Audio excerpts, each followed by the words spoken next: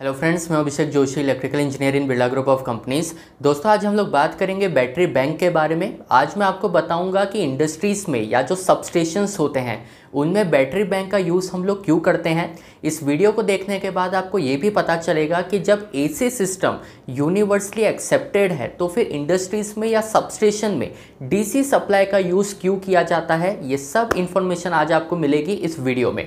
तो दोस्तों, बिना टाइम वेस्ट किए शुरू करते हैं।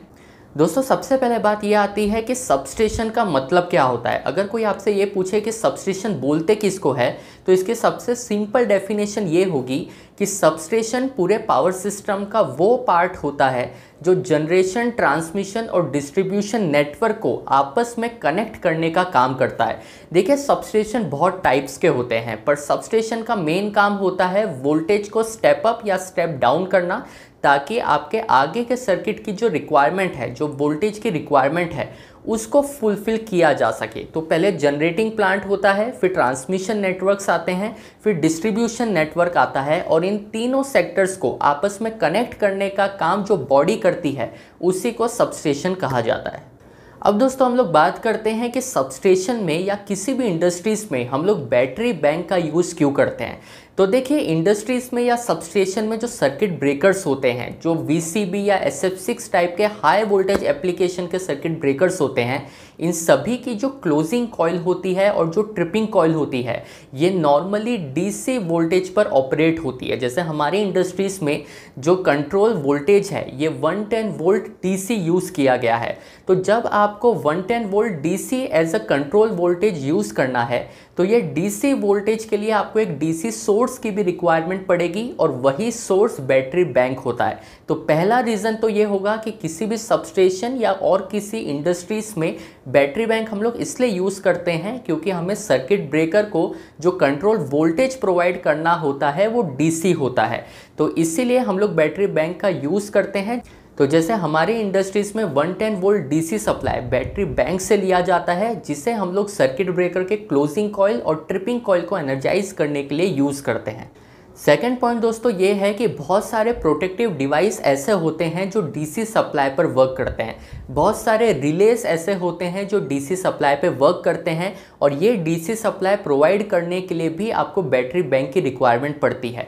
तो ना केवल आपको सर्किट ब्रेकर का जो क्लोजिंग और ट्रिपिंग मैकेनिज्म है, उसके लिए डीसी सप्लाई चाहिए, आपको जो प्रोटेक्टिव रिलेस है, उनको एनर्जाइज करने के लिए, उनकी प्रॉपर फंक्शनिंग के लिए भी आपको डीसी सप्लाई की रिक्वायरमेंट पड़ती है। और ये रिक्वायरमेंट फुलफिल करने के लिए आप बैटरी बैंक का यूज़ सबस्टेशन या किसी और टाइप की इंडस्ट्रीज़ में कॉमनली करते हैं।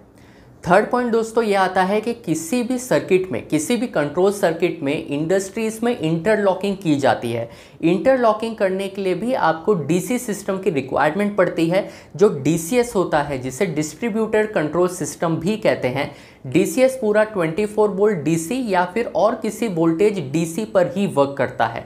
तो जो डीसीएस टाइप की जो चीज़ें होती है, जिसे डिस्ट्रीब्यूटर कंट्रोल सिस्टम कहते हैं, वो डीसी सिस्टम पर ही वर्क करता है। इंडस्ट्रीज़ में आप जो इंटरलॉकिंग करते हैं, वो भी डीसी सिस्टम के थ्रू ही वर्क करती है। तो ये भी एक रीज़न है कि आपको बैटरी बैंक की रिक्वायरमेंट पड़ेगी, क्योंकि जो आपका डीसीएस है, वो भी डीसी पर वर्क करता है, जो इंटरलॉकिंग आप अपने सर्किट में प्रोवाइड करेंगे, उसके लिए भी आपको डीसी सप्लाई की रिक्वायरमेंट पड़ेगी, और जिसे फुलफिल करने के लिए आपको बैटरी बैंक का यूज़ करना पड़ेगा।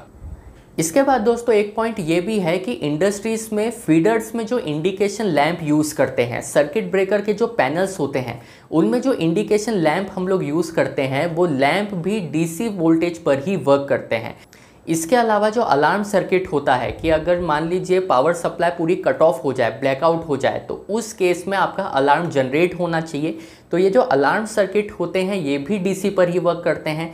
जो एमरजेंसी लाइटिंग सिस्टम होता है कि किसी भी प्लांट में अगर कंप्लीट ब्लैकआउट हो जाए तो कुछ एमरजेंसी लाइटिंग हमें देनी पड़ती है जो ब्लैकआउट कंडीशन में भी कुछ एमरजेंसी स्पॉट पर आपको लाइटिंग अवेलेबल होनी चाहिए। तो ये जो एमरजेंसी लाइटिंग सिस्टम है, ये भी डीसी सप्लाई पर ही वर्क करेगा, क्योंकि आपका अगर प्लांट में ब्लैकआउट हो गया है तो एसी सप्लाई तो आपके पास अवेलेबल है नहीं। ऐसे में एमरजेंसी लाइटिंग के लिए भी आपको डीसी सप्लाई का यूज़ करना पड़ता है। तो चाहे इंडिकेशन लैंप हो, या फिर आपका अलार्म सर्किट हो, या एमरजेंसी लाइटिंग हो, इन तीनों के लिए ही आपको डीसी सप्लाई की रिक्वायरमेंट है, जो बैटरी बैंक का यूज़ करके आप फुलफ़िल करेंगे। अब दोस्तों, सवाल ये आता है कि हमें डीसी सप्लाई का यूज़ करने की रिक्वायरमेंट ही क्यों है? हम लोग एसी सप्लाई का यूज़ करके भी तो ये सारी एप्लीकेशन परफॉर्म कर सकते हैं। तो इसका जवाब ये है कि एसी सप्लाई को आप कहीं स्टोर नहीं कर सकते। डीसी सप्लाई को आप बैटरी में ज़रूर स्टोर कर सकते हैं। मान लीजिए अगर पावर प्लांट ही ट्रिप हो जाता है। पावर प्लांट में आपकी जो टरबाइन है, वो ट्रिप हो जाती है, आपका पूरा पावर सर्किट आइसोलेट हो जाता है कंप्लीट ब्लैकआउट हो जाता है। तो उस केस में आपके पास तो एसी सप्लाई अवेलेबल है ही नहीं।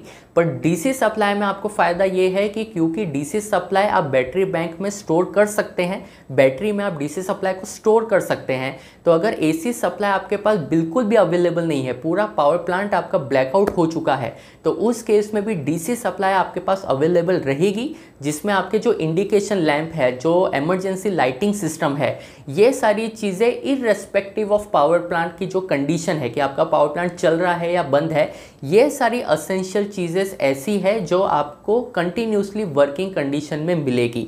अगर आप एसी सप्लाई यूज़ करेंगे और पावर प्लांट अगर ट्रिप हो गया कंप्लीट ब्लैकआउट हो गया तो उस केस में आपको कोई ऑप्शन अवेलेबल नहीं रहेगा। पर आप डीसी सप्लाई अगर यूज़ करते हैं तो डीसी सप्लाई बैटरी में स्टोर भी कर सकते हैं। ब्लैकआउट के कंडीशन में जो एमरजेंसी लाइटिंग सिस्टम है इंडिकेशन लैंप है, और भी बहुत सारी ऐसी यूटिलिटीज़ होती है जो आपको इरेस्पेक्टिव ऑफ़ पावर आपको हमेशा हेल्दी कंडीशन में चाहिए।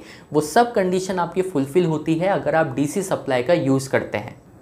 इसके अलावा दोस्तों, तीसरा रीज़न ये है कि अगर किसी भी प्लांट में ब्लैकआउट होता है तो उस केस में अगर आपने एसी सप्लाई यूज़ किया है तो आपके जितने इंडिकेशन लैंप है, जितने पैनल में इंडिकेशन लैंप है, वो सभी ऑफ़ हो जाएँगे क्योंकि एसी सप्लाई तो अवेलेबल ही नहीं है। आपके प्लांट में ब्लैकआउट हुआ है। पर इसी जगह अगर आपने डीसी सप्लाई को यूज़ किया है तो ब्लैकआउट होने पर भी आपके इंडिकेशन लैंप बराबर काम करते रहेंगे। आपको ये इजीली आप आइडेंटिफाई कर पाएँगे कि कौन सा ब्रेकर ट्रिप है, कौन सा ब्रेकर हेल्दी कंडीशन में है, कौन सा फीडर ट्रिप हुआ है सो so दैट आप जाके उसे रेडी कर सके। तो इससे आपका काम बहुत आसान हो जाएगा अगर इंडिकेशन लैंप आपके वर्किंग कंडीशन में रहते हैं।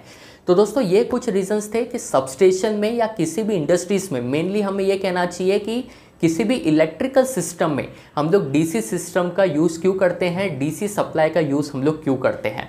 तो दोस्तों, ये वीडियो अगर आपको पसंद आया हो तो इस चैनल को सब्सक्राइब कीजिएगा। मैं आपसे मिलता हूँ कल ऐसे एक इंटरेस्टिंग टॉपिक के साथ। तब तक अपना ध्यान रखिए।